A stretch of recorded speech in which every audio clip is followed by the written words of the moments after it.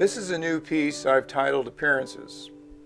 It's an architectural piece meant to highlight the inherent properties of glass and to convey the notion that vantage point is everything, that what we view can change depending on our perspective. Phenomena will change with time in the sense that we change, and our relationship to it changes.